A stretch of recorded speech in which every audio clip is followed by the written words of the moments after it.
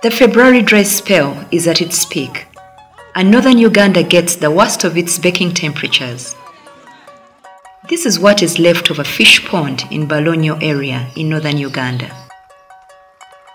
Like many parts of rural Uganda, northern Uganda continues to face the cross-cutting effects of poor water access. The pictures get blinker in communities with high population density.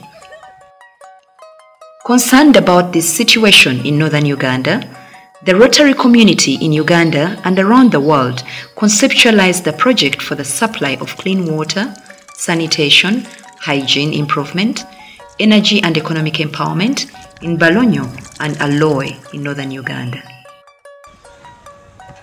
The choice for Balonyo as one of the beneficiary communities was spot on.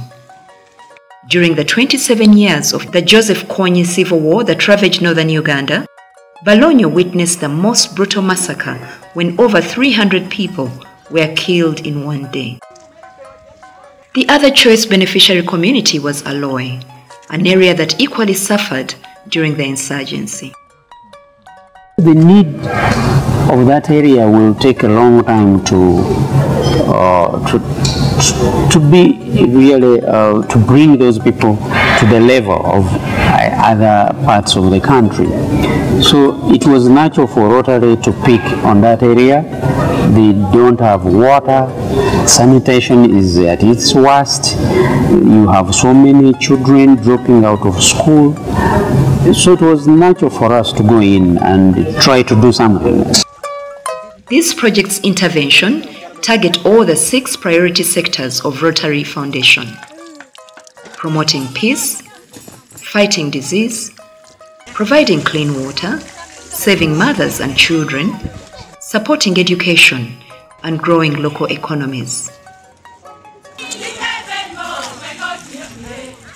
At Balonyo, the intervention was structured around two institutions, Balonyo Technical and Vocation Institute, which has an enrollment of 280 students, and Balonyo Early Child Development Center with an enrollment of 320 children. The community surrounding both institutions with a population of 2,000 was the other targeted beneficiary.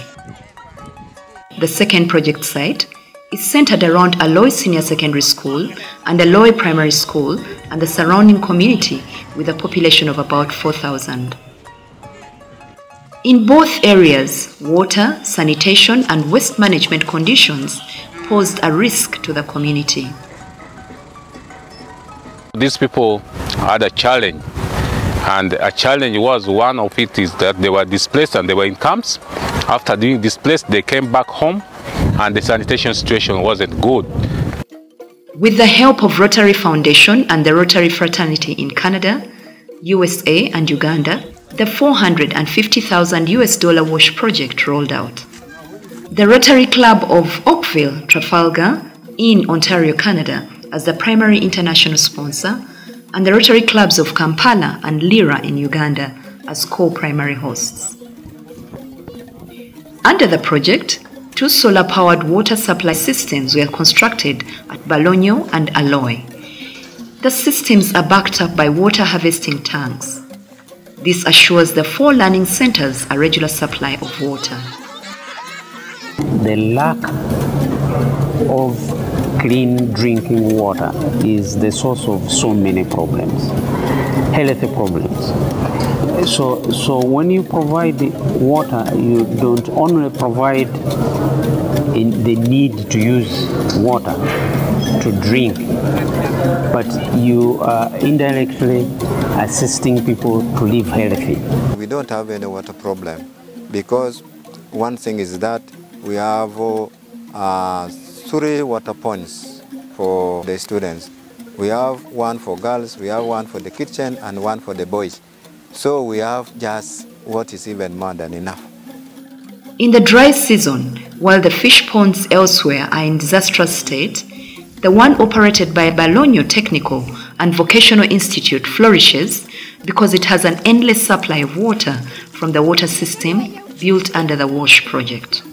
We now have a freshwater uh, source which can really help the community. It is also helping us in uh, restructuring our uh, fish pond. The assurance of continuous flow of water has enabled the institutions to establish tree seedling nurseries and plantations. We are using that water source also in our nursery beds, which is really making uh, the life at least goes on well. The community surrounding both schools has been catered for. The project ensured that the system has standpipes accessible for them.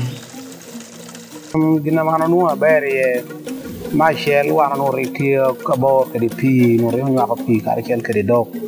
Eta dong kana pi wando ya jola jola kana re rama mas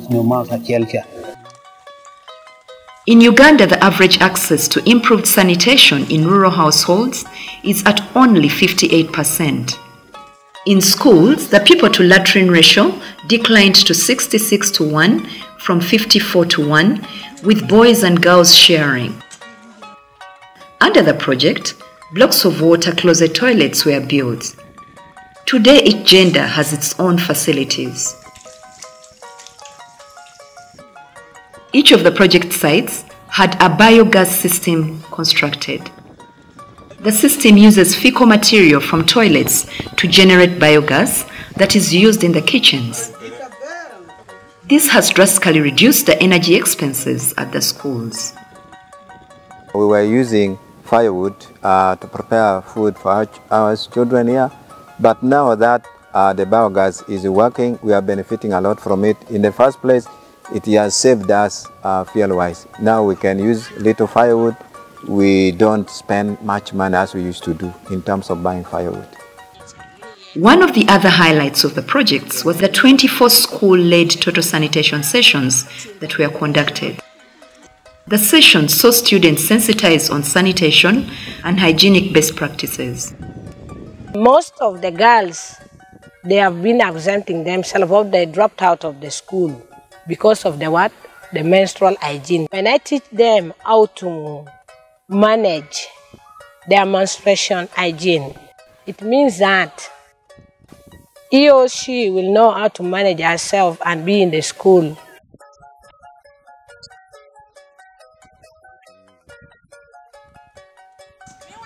At all the schools that have benefited from the WASH project, poetry has been composed to deepen an appreciation of the program. At Aloy Secondary School, it is a poem.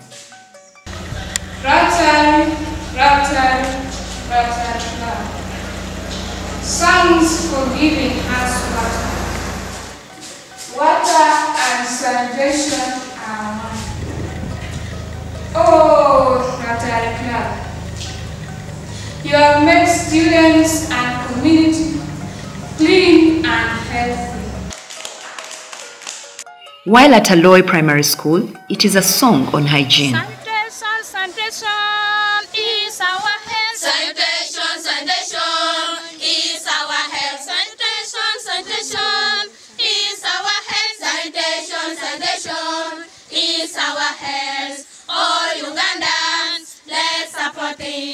The message of good hygienic practices is gradually being adopted by the communities in Aloy and Balonyo. The awareness has been conducted by the local government officials through mass media messaging on radio and face to face interventions.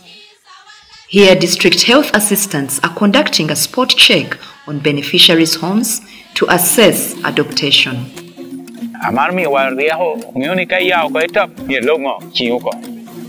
I toilet o ka luoko ko chen ni batan der chia ka cha ini te ngo?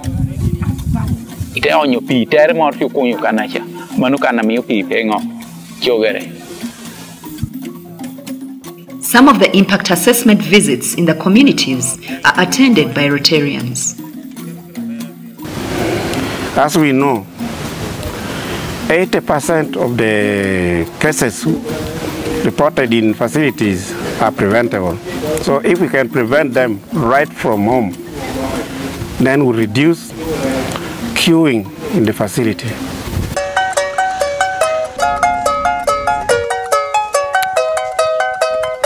This group of residents of Aloy meets every Tuesday. At each meeting, like it is today, one by one members are called forth to contribute their savings or repay money borrowed. This is one of the 12 saving groups that are benefiting from a $25,000 microcredit fund under this WASH project. With an initial loan of $90, 30 year old Bernard Ogwang, father of three, launched his business where he buys and sells cattle. Yeah, they are working with us very, very good because they have to give us small interest. That is, I, am not saying that is one is interest because 2%, like uh, the first one I, borrowed 300,000 and I paid I repaid after six months. I paid with only 36 interest. That is not interest to me because it is very small. Just they are just helping us. 41 year old Grace Otim has used borrowings from the fund to start her business and pay fees for her children. The improvements in the lives of the beneficiaries of Microcredit Fund are evident in the communities of Aloy and Balon. This is attracting new people. This group, we have started with only 20 members and later on we will proceed to 44 and the third one we have proceed to 78 and currently we, we have registered 150 members who are willing to get a loan. Esther Mary Apoy is the loan officer working at Okenyero Kenwa Cooperative Society Limited, the microfinance company that is managing the microcredit fund. People are saying, ah, this, this money has worked so well, now I can raise some little profit out of my business, put it aside to pay my children's school fees, to cater for their medical expenses, and some they've, they've, some have bought bicycles before they don't have it. Others are now upgrading. Even the, the other one there, he has added it and bought a fridge, so he can now sell things that people can buy.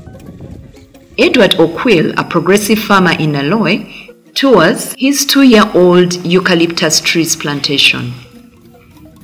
The tree planting component under WASH project has a revolving fund that provides the communities with an opportunity to venture into afforestation as a business. Well, the tree given to me by Rotary, uh, first of all, I want to maintain it. You see this money they collected, I think, to come and support us. So I, I see that thing is, an opportunity which I have to manage properly. Because if I manage it, personally, I will have to benefit. I will have to earn something after you. In March 2017, this Rotary project came to its end. Regardless, work continues to ensure that the project investments do not break down and fall into disuse. A team of volunteers from the benefiting communities are taking care of this. Rotary Community Corps and water use committees for each village were trained in maintenance and repair of all mechanical components. We have trained people so that they can accept the new technology, so to say. For the Rotary Fraternity, funding the project was in fulfillment of their tagline, service above self. But what they did was giving hope for the hundreds of families that previously lived in hopelessness in Aloy and Balonyo. For them now, there's light at the end of the tunnel.